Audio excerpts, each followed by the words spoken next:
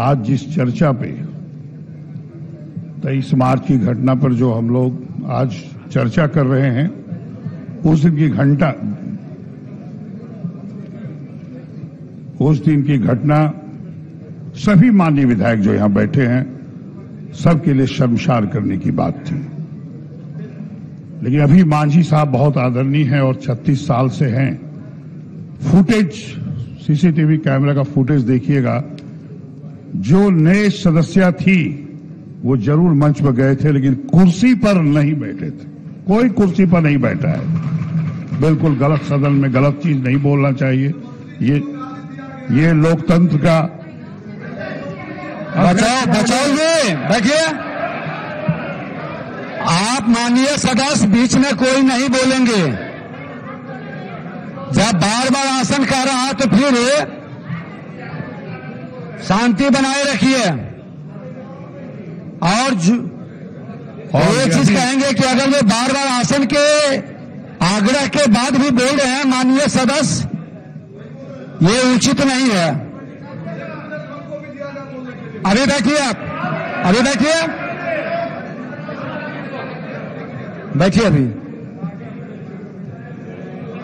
बोलिए। निश्चित तौर पर उस समय अध्यक्ष महोदय कुर्सी पर नहीं थे। जो काला कानून बिल आया था, जो जनता के हित में नहीं था, उसका विरोध करना हमारा कर्तव्य होता है।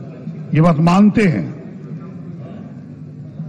लेकिन वो पहली बार जीते हुए विधायक थे और वो माँ बहन के रूप में है, बहन के रूप में है और वो सम्मानित है, बिना माँ बहन के। कोई भी व्यक्ति बिना महिला की इस धरती पर नहीं हो सकता, चाहे हम हो या कोई भी सदस्य हो, इसलिए उनको सम्मान देना हम लोग का पहला कर्तव्य है। और यहीं से मैसेज जाता है कि महिलाओं को सम्मान नहीं करेंगे, वो रूप भगवती का भी होती है, सब लोग को हम लोग प्रणाम करते हैं। लेकिन फिर भी, उस दिन जो घटना घटी, विपक्ष का काम है विरोध करना। जब घटना इतनी बढ़ गई, क्या संसदीय कार्य मंत्री हमें आदरणीय विजय कुमार चौधरी जी या माननीय मुख्यमंत्री हमारे आदरणीय नीतीश कुमार जी को क्या सभी दलों के विपक्षी दलों के नेताओं के साथ बैठ के बात नहीं करनी चाहिए थी? इतना बड़ा शर्मसार करने वाली घटना हो रही थी, उसके बाद भी बैठ के बात नहीं किए। ये उनको करना चाहिए था ताकि हम लोगों को यह लगता कि आज सरकार भी इस काला कानून पर बहस करना चाहती है, हमसे बात करना चाहती है। ठीक है, विपक्ष बहुत बार हुआ है। जब आप लोग भी विपक्ष में थे, मैंने देखा है, इसी विधानसभा में आप लोग भी किस तरह से हल्ला करते थे? विरोध विपक्ष का काम है करना। लेकिन बैठ के सब चीज़ बात करके होता तो बहुत ही अच्छा रहता और सदन की गरिमा बढ़ती। फिर भी जो भी हुआ उस दिन, घटना तो बहुत शर्मसार है, जहाँ भी जाते हैं, चर्चाएँ होती है। आपको एक बात बता दें, जिस तरह से माननीय विधायक को जनता चुन के भेजती है, अगर किसी भी विधायक को कोई पुलिस से लाठी मारता, सिर्फ़ विधायक को नहीं पीटता पूरी जनता बिहार की जनता को पीटता है, यह बहुत ही शर्मसार है पूरे बिहार को करने वाला। इसलिए इस पर बहुत गंभीरता से, चाहे पक्ष हो, विपक्ष हो, इसको सोचना पड़ेगा क्योंकि सभी विधायक चुन के आते हैं। किसी को भी लाठी लगे उससे जूता से पीटा जाए, बिल्कुल यह कभी नहीं होना चाहिए। नहीं तो इतिहास हम लोग किसी भी विधायक को, किसी भी मंत्री को, किसी को माफ़ नहीं करेगा जनता कि आप लोगों ने उसके लिए क्या किया। आप लोग को सबको सोचना होगा, सर, गलतियाँ हुई हैं हम मानते हैं, लेकिन कार्रवाई सही होना चाहिए क्योंकि जनता बिहार की आपको पूरे देश की देख रही है।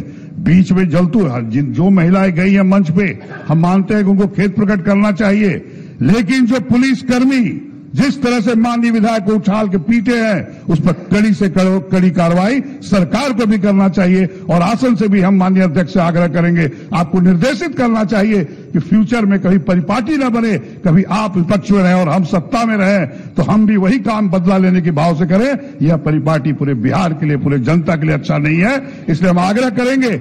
और आप आसन पर विश्वास है कि आपको मैं बहुत दिन से जानता हूँ, आप न्याय करेंगे बिहार की जनता के हित में। विधायक के सम्मान के लिए और पूरे सम्मान के साथ, हम इन चंद शब्दों के साथ अब आप विराम करते हैं क्योंकि समय बहुत हो गया है। धन्यवाद। नहीं नहीं, अनुमति नहीं है, बैठिए। श्री अख्तरुल ईमान।